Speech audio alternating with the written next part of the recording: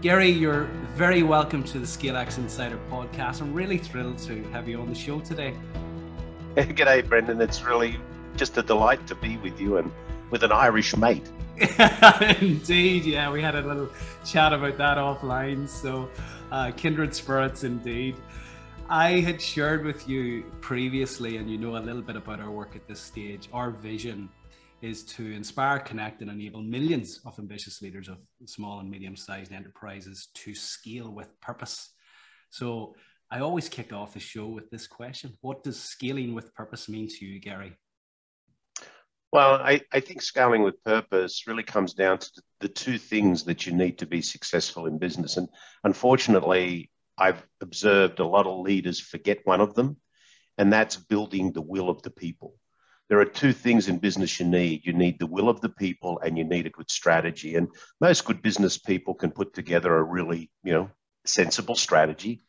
But if you've got a low will of the people in other words people don't go to work every day making a, a contribution to something bigger than themselves they don't learn something new they're not protected by and set free by a compelling set of values and more importantly they don't go home happy then you have a low will of the people. So scaling to me is not just strategy; it's very linked to the most important people, the most important thing in any business, which is people. You know, Aristotle, who was born in 384 BC, said, "Pleasure in the job puts perfection in the work."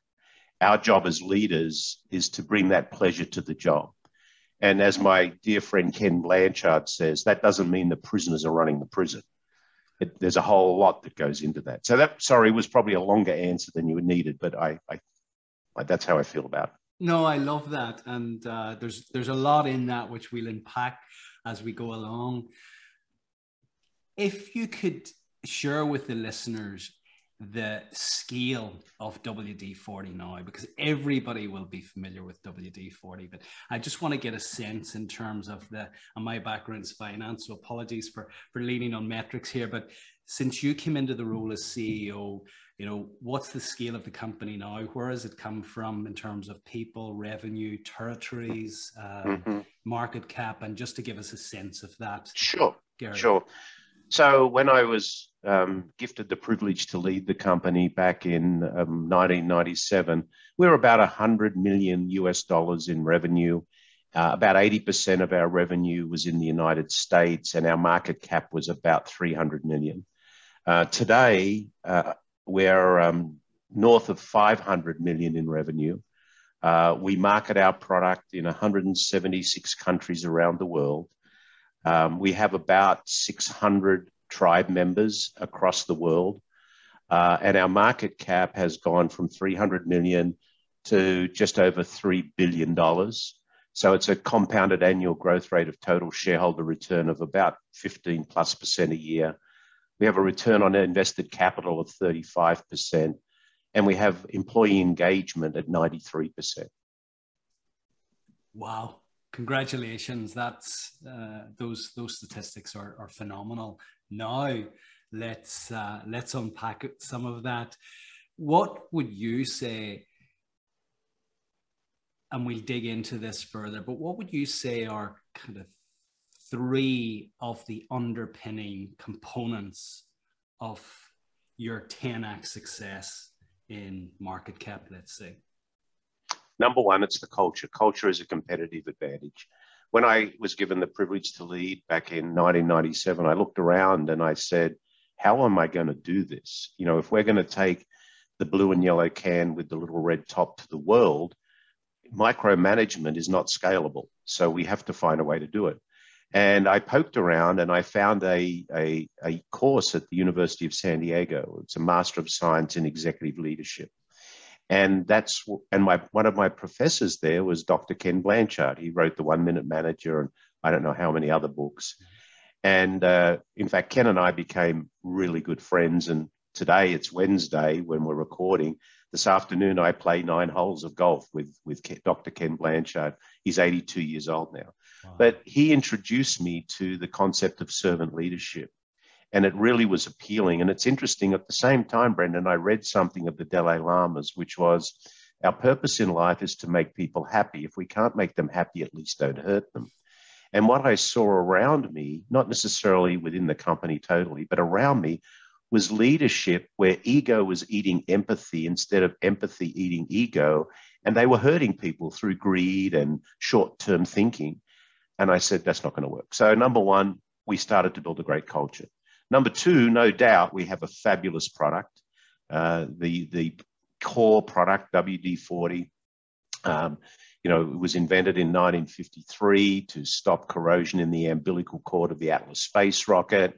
It's an honest product. It does what it says it's going to do.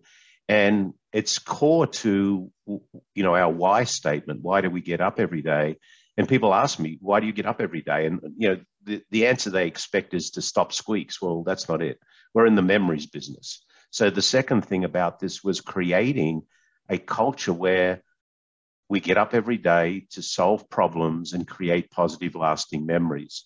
And then the third thing about it was we saw the opportunity. We had a dream, and we thought that dream was uh, achievable, which was to take the blue and yellow can with a little red top to the world. So, um, people, strategy, and dreams um, probably were the three things that um, started us on that journey. Yeah, I, I've noted here as you said, people strategy and dreams. You know, I put this in, in, in aligned with our 10 principle model. You know, a positive growth culture, number one, which is our 10th principle, purpose and vision, which is our second principle, and kind of the, the you're in the memories business. I mean, uh, people wouldn't necessarily, if they were challenged with the purpose of WD 40, say, yeah, it's it it's a company that's in the memories business. So that's really interesting. At what point do you feel in your journey as a CEO did you sense that purpose was really important? Because I sense out there at the moment there's there's a lot of compulsion on companies to feel the need to to find a purpose, but there's also a lot of purpose washing. So, what was that mm. journey for you like? Uh, Garry in terms of what you know was it was it a dada moment or was it a general unveiling as you kind of grew in the CEO role? You know, I think early on, and, and again, as I went through this program that I did at USD and eventually got my master's in leadership, the the concept of purpose on anything became a lot clearer to me. What, why do we exist? What's our purpose in life? You know, um, and and as we started to talk about it within the company, and I used to say, you know, we get up every day to create a positive, lasting memory, and there's nothing better than a positive, lasting memory. You know, at the end of the day, the only thing we'll have left is our memories. And it was interesting because that aligned with the product. You know, I often I would say to some or someone had asked me, you know, what do I do? And I say, I, I work for WD-40. And the first words that came out of their mouth was, I remember when. I remember when I was working with my grandpa on a car. I remember when it solved my problem. I remember when. I remember when. And it was like, okay, if the purpose is, and then that aligned beautifully with a purpose of creating positive, lasting memories for the people in our organization. So I think initially I didn't realize it, but as we got deeper into it, it became very clear that I prefer to get up every day and say, my pur- our purpose is to create positive, lasting memories than to say our purpose is to stop a squeak because anybody can stop a squeak. I can do it with olive oil. Yeah, I, I love that. And I'm, I'm, and as we're speaking, I went to my phone because on Monday at our, at our morning meeting, uh, we always share an insight from some of the material that we're reading. At the moment, we're reading your wonderful little book, Tribe Culture, and how it shaped WD 40 Company. And our program manager shared with me, uh, her father sadly passed away uh, over a year and a half ago. And she uh, bought the book and she sent me a note and with a picture of the can saying staple item for the councillors. is it is the solution to a lot of things in this house thanks to my dad educating us on how to, to do DIY. So you might not have realized it, but your introduction of the book on Monday brought a smile and a laugh to my face. So beautiful and that's straight from straight from my phone. Uh, so you know to connect this can, which everybody will associate with with a with a purpose around compelling memories. Uh, Very important. Yeah, uh, uh, but incredibly clever. And in terms of purpose, then, how have you found that purpose has led to attracting and retaining your staff? And I know you refer to them as tribe, and we'll come to that. I mean, you referred at the outset a 93% retention rate. Uh, which is incredible when you think there's a lot out there talking about the great resignation and the war on talent. And there you guys are uh, selling a lubricant and have a 93% retention rate. So, where does purpose fit into that, do you believe, Garry? A lot. And, you know, you talk about the great resignation. I've renamed it, I call it the great escape. People are escaping from toxic cultures. There is no doubt about it. And our employee engagement rate, that 93% is engagement, not retention. So that means that people are actually, the, the national average of engagement right now that was measured from an ADP uh, research of 1,900 companies was 16% during COVID. So 84% of, of people who went to work every day were disengaged, or what I call quitting and sticking. But getting back to the core of your question, I think the two things that really attract people to our company.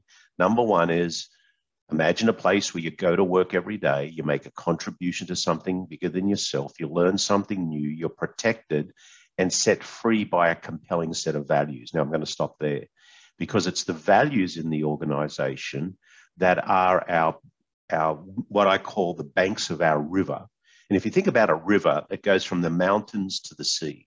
And the bank of the banks of the river keep it flowing to the sea. But along that river, it's just like being in a business. There's rapids, you know, there's going to be times of turmoil, there's going to be times of peace where you might pull off on the bank and have a rest.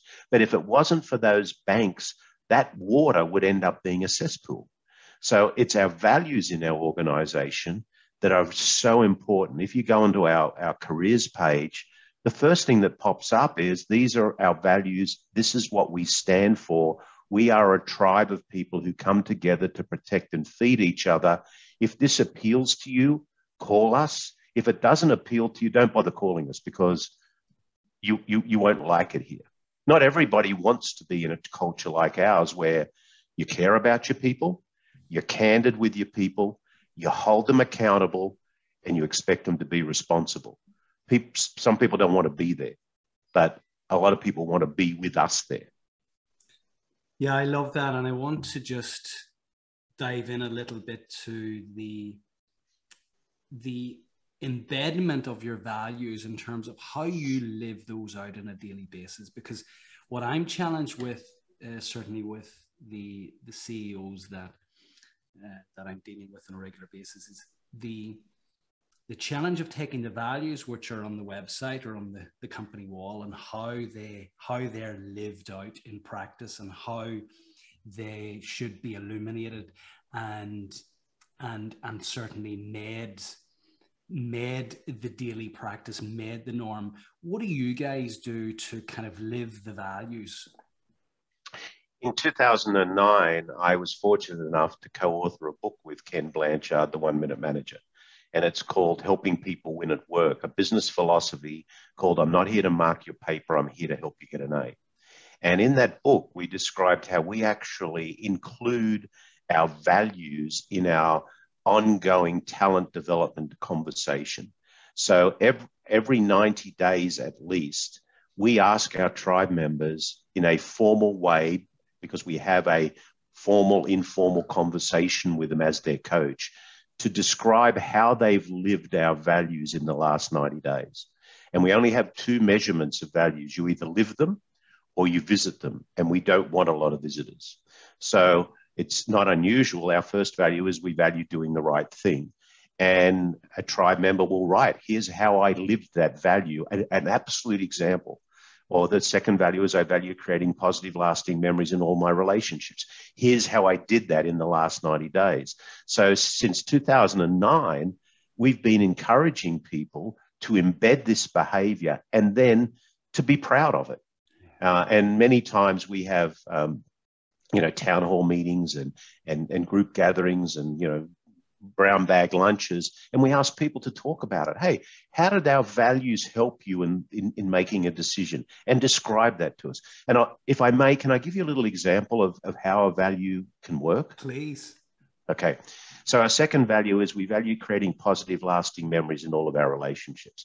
And if it, that, that value has a paragraph written underneath it that, that actually describes what that means, because we, seeing we operate in so many countries, the definition has to be clear because that could be interpreted in a lot of different ways. But some time back, I was uh, in a meeting in our what we call our, our teepee, which is because we're a tribe, we call our building the teepee. Um, and uh, it was early one morning, and I was in a meeting with a bunch of uh, our, our coaches. And, and there was one person in the room that morning that absolutely, Brendan, was not creating a positive, lasting memory. They were having a really cruddy morning. And you could feel the negative toxin just swelling in the room. You know, the atmosphere was flat, the oxygen was getting sucked out.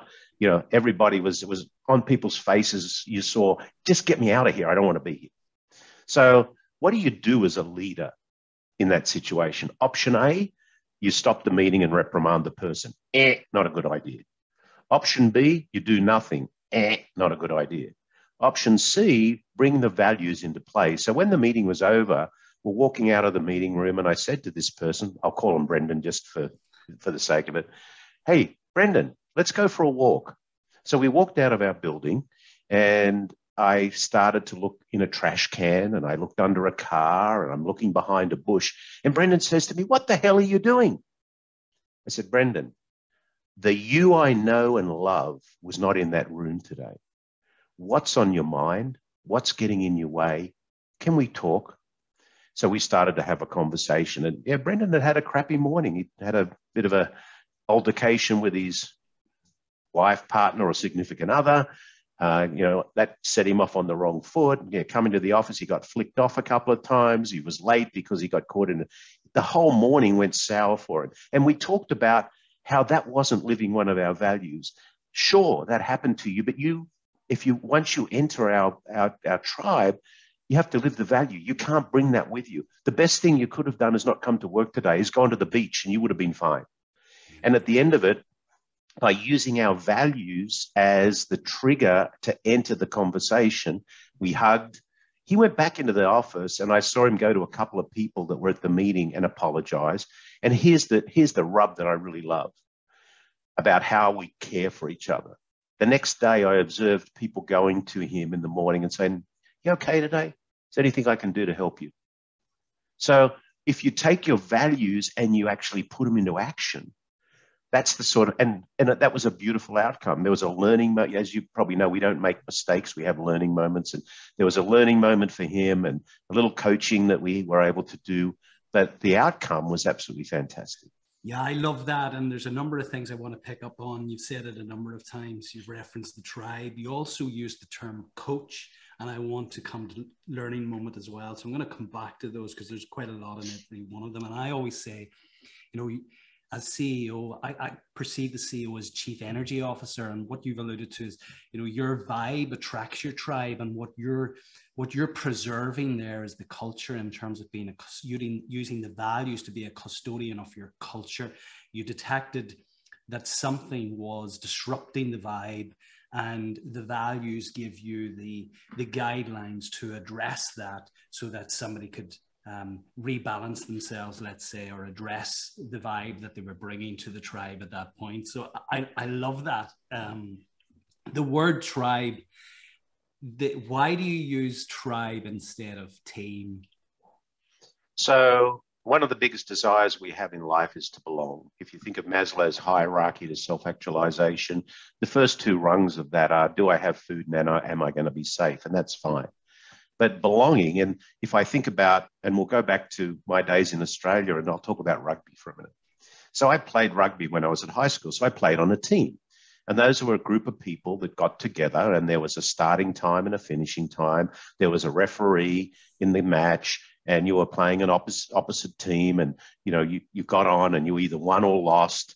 The game ended. You know, you might go to the pub then and have a couple of pints. And you may not get picked on that team again next week or not. You may be sidelined. And so, although a team is there to, to play uh, in, in a defined period with a very desired short term outcome. So that's a team. And we have lots of teams within the company. Mm-hmm. Let's think about a tribe. The, the definition of Sebastian Junger is a group of people who come together to protect and feed each other. So if we go back and look at human, the lifespan of, of humans, it, it's, it's very tribal. We're tribal individuals. So I thought, wow, that's interesting. So I went and I, I, I studied the, uh, the indigenous Australians and the Fijian Islanders. And I thought, what was it that brought those people together? And what were the key elements of that, you know, years ago? And if we could get in a time warp and go back to my homeland thousands of years ago and observe a group of uh, Indigenous Australians at a kind of morning meeting, what would be happening? The tribal leader would be teaching the younger tribe members to throw a boomerang. Why? Because the boomerang was the tool of survival. So a tribe is a group of people that come together to protect and feed each other over a long period of time. And the number one responsibility of a tribal leader is to be a learner and a teacher because our job as learners and teachers is to help the tribe members that are coming along to build their competency and to you know, build their confidence. So that's the difference. A tribe is playing the infinite game. The number one responsibility of a tribe is to keep playing. The number one responsibility of a team is to win in a short period of time. Yeah, I love that, and it's it's characteristic of the New Zealand All Blacks when you talk about you know Australian rugby and the wonderful book by James Kerr called Legacy. And there's Love so much book. yeah I, it's it's a book that I used to hand out to our leadership team. Uh, so much of it resonates with with your own uh, you know your your own teachings and what you write about. Uh, so it's, it's lovely to hear it in a corporate context. I really I really enjoy that. And the the word coach then you used coach earlier in a conversation that it, you know about five minutes earlier in the conversation. Why coach? Well if our job as leaders is to be learners and teachers the way you do that is to be a coach. And unfortunately most managers feel they have to play the game. So you manage your bank account and inventory. Our job is to coach people to play a better game and let's think about a great coach. Where is the coach? The coach is on the sideline, observing the play, understanding the game, and spending a lot of time in the locker room. A manager always wants to run on the field, micromanage and grab the ball. So the difference, there's a clear difference. The other thing is, I've never seen a great coach go to the podium and pick up the prize. However, the soul sucking leader who wants to be a micromanager will always be there at the podium trying to pick up the prize instead of those that played the game. And you might know that I created this person called Al, the soul sucking CEO. um, and, you know, Al is someone who's corporate royalty. He must always be right. You know, he wants to take all the glory, all these things that are really about micromanagement, not about us. And that's why our motto and what we wrote about in the book with Ken Blanchard is, is I'm not here to mark your paper. I'm here to help you get an A. So, what does an A look like? And what can I do as your coach to help you get there? Because if you get an A, I get an A. Yeah. The yes, the character Al, you're very scathing of of CEOs in the in the first chapter of, of your book and kind of as as personified by by Al, the soul sucking CEO. When you became CEO, Garry, back in 1997 versus now, you know, we're in 2022, what what have you learned along the way and you know now that you wish you knew back then? Um, the biggest learning I had was uh, really getting comfortable with three words I don't know. And um, I, I was reading, you know, some of the Dalai Lama, and I think I shared this with you, where he said our purpose in life is to make people happy. If we can't make them happy, please don't hurt them. And then I also was ex- exposed to some work of Marshall Goldsmith, and you, you probably know Marshall and those that are with us today. You know, he's the number one executive coach in the world. And he wrote a great book called What Got You Here Won't Get You There The 20 Habits of Poor Leadership. Uh, I admit I had all of those in some level of abundance at some time. And I, it's the awareness of those are not going to get you where you want to go. So, you know, I had to really think about it. And I have a little post it note right in front of me on my, well, I have a lot of post it notes in the back. I see here, that. But, I have a little post it note right in front of me um, that I read all the time. And I'll share it with you. It says, Am I being the person I want to be right now? And then I say, What or who is that person? And I, I say, I want to be caring. I want to be empathetic. I want to be a listener. I want to be fact based. I want to be balanced. I want to be a curious leader and learner. And I want to throw sunshine, not a shadow. Now, the reason I have that here, it's a bit like that beautiful quote you shared with me earlier, um, which I took down. At, at, the end of the day, we are just walking, um, walking each other home. Each other home. Yeah as we're walking home, we're walking down this, bumbling down this, you know, little pathway of life. Unfortunately, in the bushes are thieves, and they will run onto that path and they'll pull us off that path of life we want to be in. And those thieves are things like jealousy and greed and you know ego. And unless we continually remind ourselves we don't want to be with them, then sometimes they suck us in and we, we wake up one day and we say, How the hell did I get here? So for me, I have to continually remind myself that that's not who I want to be.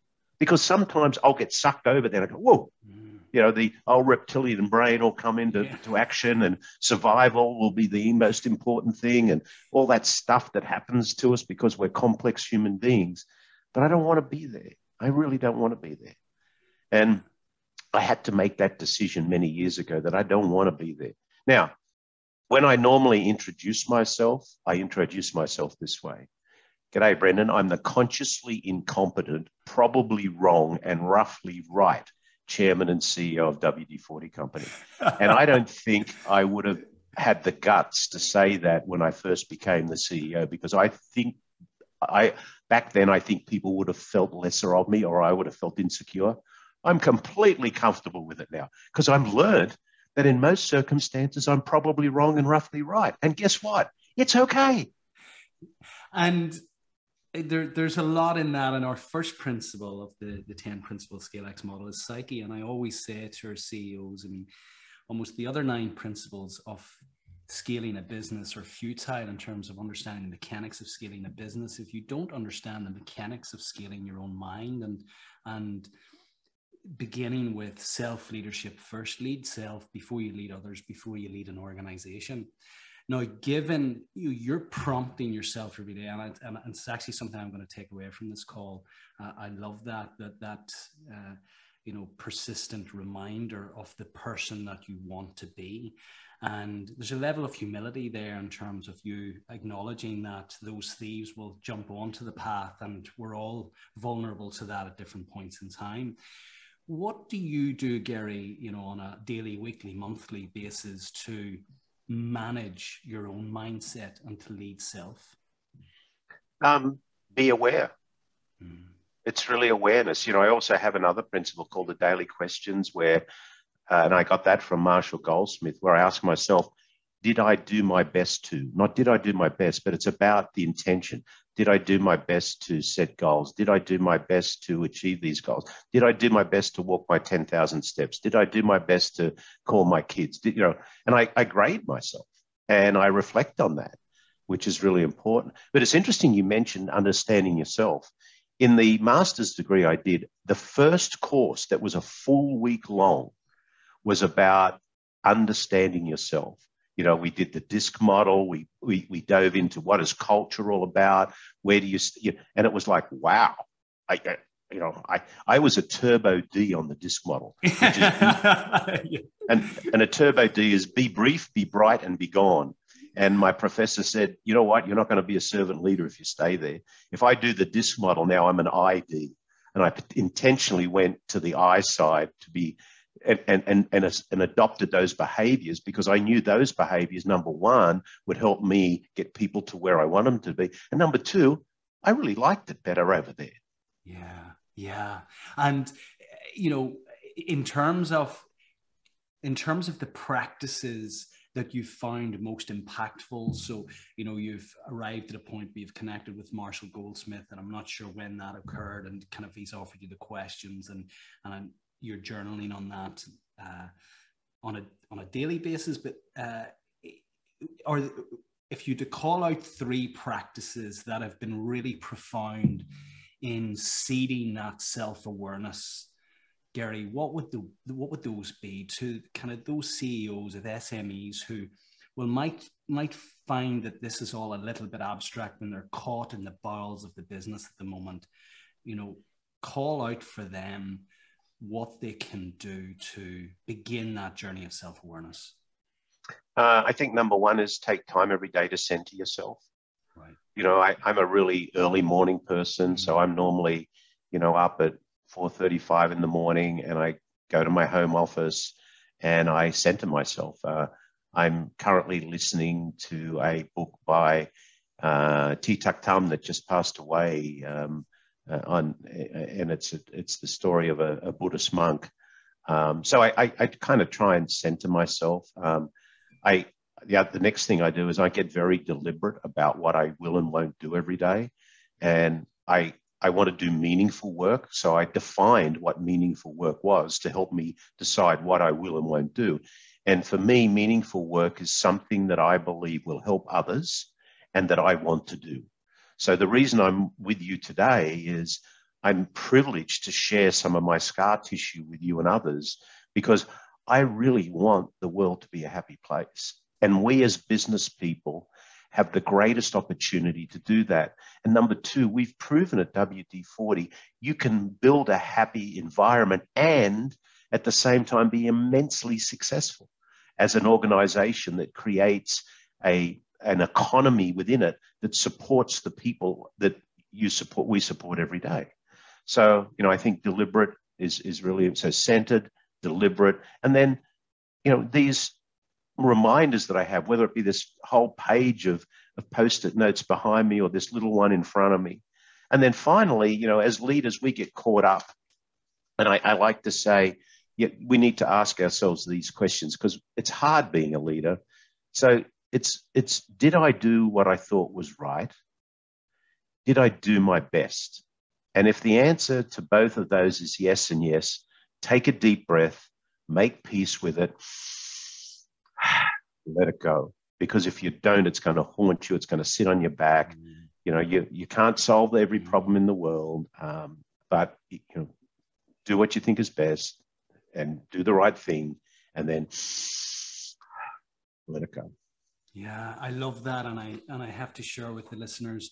Whenever I had reached out to you initially, and you connected me to to Holly, who has been fantastic, uh, you signed off a lovely email uh, with a desire to support what we're doing here within Simple Scaling and, and through the ScaleX Insider podcast with Be Well and let's do our best to make a positive difference in our world. And I thought that that's that's class. That's just uh, that's just a little hint of class. So uh, I, I, I love that. There's, there's a couple of things I want to come back to. And you mentioned the post-its. I thought that was related to the business. There's I've just done a quick calculation on, the, on what's sitting behind you there. There's 42 post-its. Are those reminders about how you should conduct yourself? Is that is that what those are?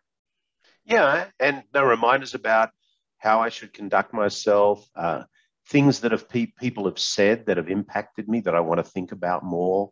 Um, these are not, um, you know, goals, ambitions, or whatever. They're all, you know, one one of them that I love on there is when we talked about uncertainty. You know, uncertainty is a series of future events that may or may not occur. Um, Rebecca, Dr. Rebecca Homkes shared that with me, and it's like, wow, that that's true. Um, you know, Brene Brown, in the absence of facts and data, we make up stories. Bang, that's so true. So sometimes I'll find myself turned around and just looking at that and reading it and going, yeah, that's right. I that did you know that did make an impact on me. That was right. Um, so that's what they're for. Wow, uh, it's incredibly impressive. and again, something I'll take away. You mentioned right at the outset when I posed the question about the three components or characteristics of your success in terms of moving from a company with a market cap of 300 million to, to now over 3 billion, which, which is incredible. 100 million revenue now to 500 million revenue and a tribe of, uh, you know, 600 people with exporting to 176 countries, which is phenomenal. When you laid out your dream at the outset and you referred to it as a dream, uh, did you get a lot of rolled eyes? Here's the new guy coming. Uh, yeah, yeah. Uh, we're gonna we're gonna do all of this, and um, you know at that stage you're 100 million, 80 percent of the revenue coming from North America.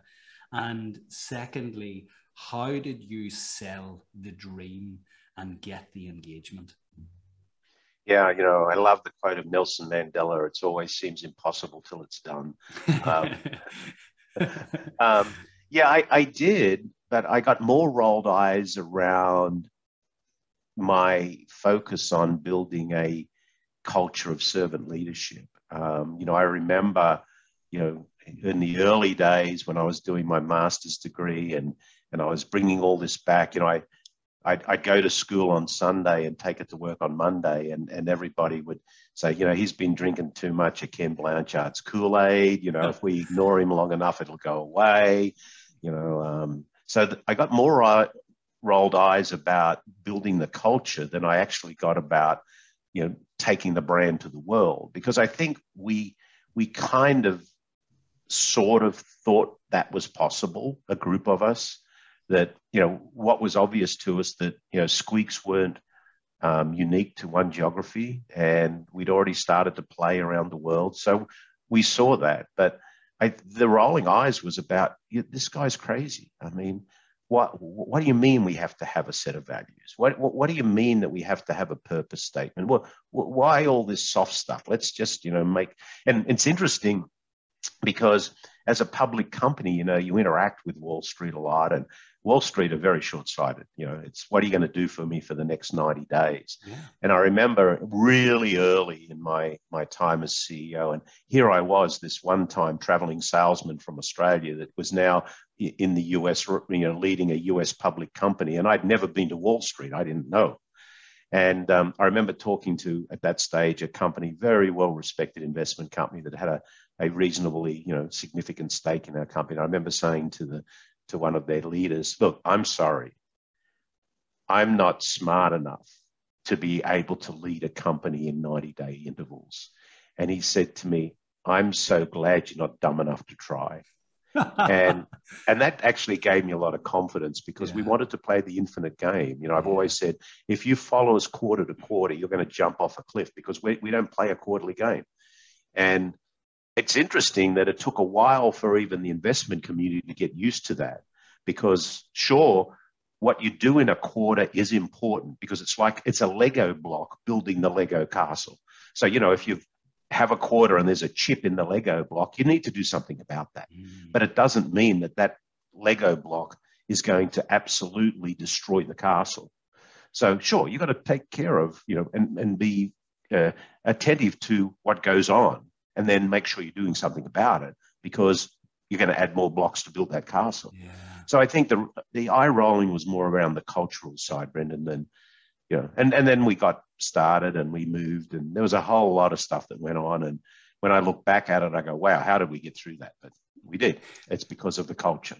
And were there any signs that the the, the culture seeds you were planting were starting to blossom? You know, was there a moment where you kind of you drove out of the car park and you felt, yeah, this is this is working?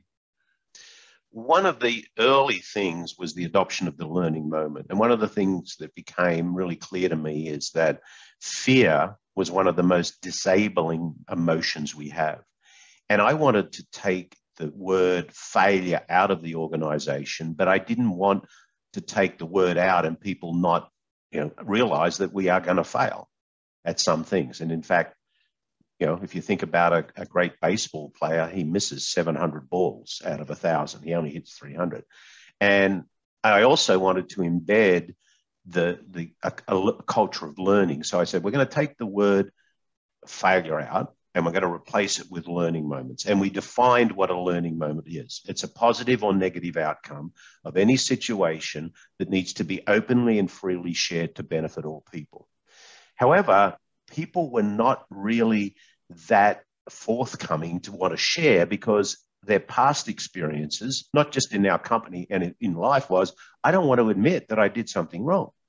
So I, I ran this contest for the first year. I said, okay, I'd, I want you to share with me on a monthly basis a learning moment. And we had monthly prizes, and the grand prize was going to be you can we're going to fly you and whoever it is your partner first class around the world to visit all of our offices. So so in the first month i got two or three and i made heroes of them. And in the second month i got eight or ten and i made heroes of them. And in the third month i got 40 and i made heroes of them and by the end, I was getting hundreds of these examples of learning moments. And that's when I was driving home one day and said, We've broken it. We've broken the fear barrier. There is a future. And, uh, and that was a great, and it took 12 months to get people to know that, yeah, okay, let's, let's hear it. We're not, we know we're going to, we're going to take in and not only that we're going to take that learning moment and turn it into something positive into the future because we're going to share it and and, and, and that's the basis of our learning culture. Wow. And, you know, for those, just to, to be explicit, you know, you call mistakes, you know, learning moments. There's no such thing as a mistake or failure in the, in, in, the business. It's a, it's a learning moment. And again, that speaks to, I suppose, my own philosophy or uh, creating a win or learn culture, not win or lose. How did you address or how do you address then the you know, coming back to care, candor, accountability, responsibility uh, in relation to the kind of the principles and values that you want to see upheld within your people. How do you address, you know, the learning moment and the potential of somebody to continue to do the same thing over again? Uh, with, yeah. with accountability. You know, at what point do you say, no, no, hold on here now? You know, we've already learned that. Uh, we've invested heavily in it, and there was a cost attached in, in the investment of that learning moment, but we shouldn't be replicating it again. How do you address that? Well, the second, you know, pillar of candor is no lying, no faking, no hiding. Right.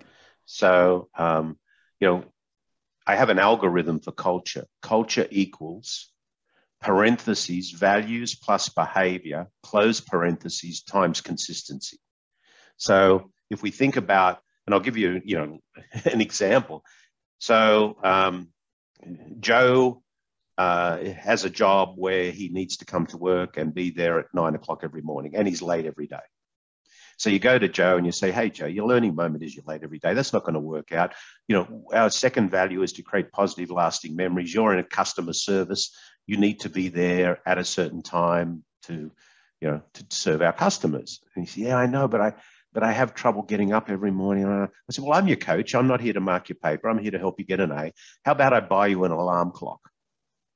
Yeah, okay. So I buy Joe an alarm clock and Joe set this alarm clock and when it goes off, get up and come to work. Well, I buy him the alarm clock and you know, Joe still comes to work late. And so his second let Joe, what's the deal here, man? Well, yeah, it does go off, but I hit the snooze button. Joe, that's not the way to work. You know, it's not going to work. Okay. Here's what I'm going to do, Joe. I'm going to call you every morning at seven o'clock personally. I'm going to do it for 20 days. At the end, it doesn't work. So the, the conversation with Joe is Joe, you know, these are not learning moments. These are habits that you're not going to change. And obviously, you know, it's not working for you. I want you to be happy. You're not happy here because you have to come to work early. You're not, obviously, you're not a morning person. You know, do we have a job that will let you go later? If not, no. Okay, how can we help you go to your next place to be happy? So there's there's an acceptable learning moment, which is one that happens during you know, uh, innovation, curiosity, experimentation. And there's an unacceptable one, which is one that is repeated by someone with a high level of competency in that particular skill. And those that learning moment is not a learning moment. Yeah. It's where you, you know, you have to be no lying, no faking, no hiding. Joe, I'm not going to lie to you. I'm not going to fake to you. I'm not going to hide to you. You're not meeting that. And we decided that's what we had to do. So we have to you know, find a way around this. Uh, but the values gives everybody the the guidelines by which they should behave and act and it also gives the coaches the language to be right. candid with the tribe members so yeah i, re- yeah. I really like that um, just moving on to to partnerships and given the tribe mentality uh, how has COVID been for you guys uh, generally? And then I'm, I'm making the assumption here, given that everyone was at uh, home for, for for quite a period, people took a vested interest in their in their homes and that rusty rusty hinge on the garden gate, and and I suspect you guys have done incredibly well. But uh, maybe you can share with us how you have done. But importantly, I'd like to kind of uh, address the again one of our principles, which is partnerships, and the the the tribe culture does that extend to all stakeholders? Does that extend into your supply chain and uh, the culture expectation within your supply chain? And how have you managed the supply chain throughout uh, COVID, Garry? If you could speak to that. Okay, there's a few questions there. So let me try and unpack a couple of them. Firstly, as far as the company is concerned, we just finished our fiscal year in August. We're an August fiscal year. We had the best year in the company's history. Oh, well um, and a lot of it is there's a few reasons. Number one, you you kind of alluded to it. We called it isolation renovation. Um, you know that that squeaky hinge that you heard twice a day you're now he- hearing 40 times a day and it wasn't creating a positive lasting memory for you when your wife partner or a significant other kept telling you that damn squeak is getting on my so you went and you went and fixed the squeak and now you were a hero to your wife partner or a significant other and that was the positive lasting memory. So that happened. Uh, the other thing that was very positive for us is we'd made some substantial investments many years ago into e-commerce. So we were very very well positioned to be able to not only communicate with our end users in a in a in, in a new and wide way all around the world uh, but to also when supply chain or distribution channels shut down, um, they were able to get our product through alternative distribution channels like e-commerce. Uh, so that was great. And then, of course, the most powerful thing was our tribe. Um, you know, we did a, a check-in employee engagement survey halfway through COVID uh, just to see if we were draining what I call cultural equity, because we were deliberate from day one that we weren't going to let our cultural equity drain. So we were doing a lot of different things. Um, we became very competent at being virtual. You know, I, I've often said in the face of real and great need, people can pivot around fear. And we had real and great need, and there was a lot of fear in, hey, we had all this uh, this technology to be virtual, but people weren't really using it because they were afraid.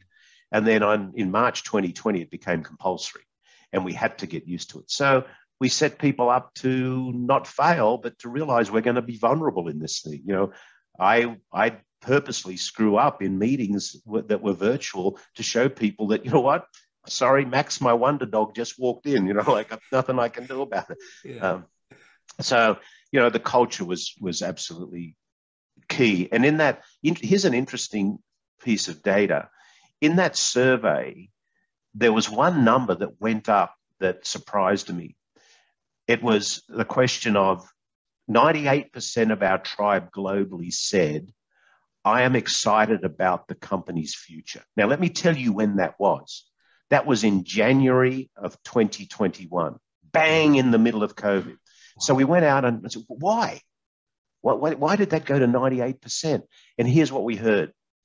As a tribe who kept its promise, as a group of people that come together to protect and feed each other, if we can get through this together, nothing will ever stop us. I'm excited about the company's future. So I was pretty happy about that. Um, and it, it, again goes back to the power of caring and and it was hard. I mean, I, I, look, be under no misunderstanding. I am really, uh, I, I really have emotion about what COVID has done. You know, it's hurt a lot of people. People have died. On the other flip side of that coin, my goodness, we have learned so much. We've pivoted and learned so much about what's important to us in life. And that's why this great, what they're calling the great resignation now, I'm calling the great escape. Mm-hmm. People are saying, I'm going to get out of toxic cultures. I'm not putting up with this anymore. Mm-hmm. You know, I could put up with going to work and and being in that culture I didn't like because normal life was kind of normal. But now normal life is not normal anymore. So I've got to deal with not normal life. And you expect me to go to work and put up with all this toxic crap, excuse me. And they're saying, I'm not going to put up with it anymore. In fact, interestingly enough, um, uh, the letter from um, BlackRock's CEO uh, just came out this week. And he says in his opening paragraph, basically, organizations who realized that they took care of their people are the ones that are being rewarded during COVID. So, you know, get a slap up the side of the face. And, you know, it's about time we started building cultures where people actually lived to what Aristotle said, which is pleasure in the job puts perfection in the work. Yeah, I, I, I love that. And, uh, you know, I, I would say it's it's the great era of consciousness. People have the time now to reflect on why they're doing what they're doing and really consider the the company and the the purpose and the alignment of the values uh, because they've had that time at home they've had the time with their family with their with their children um, and uh, as you rightly say, those good companies who have looked after their people throughout this have been rewarded. In terms of your supply chain, then, sorry, which was the second bit of that question. sorry. How, yep. because I mean, a lot of the companies that I'd be dealing with and uh, the CEOs that I'm speaking with have been really challenged with their supply chain and, and lead times. Have you guys, uh, you know, subject suffered the same sort of challenges, and and how do you cultivate that that tribe mentality amongst your supply chain? Yeah, certainly. I think the two biggest um, headwinds we had and probably still have are um, supply chain and inflation. Um, there is no doubt that both of those are rampant. Well, inflation is just crazy. Um, I don't think the world has yet realized, you know, what the impact of that is because it's still coming. You know, as far as the supply chain is concerned, it, it was different in different geographies.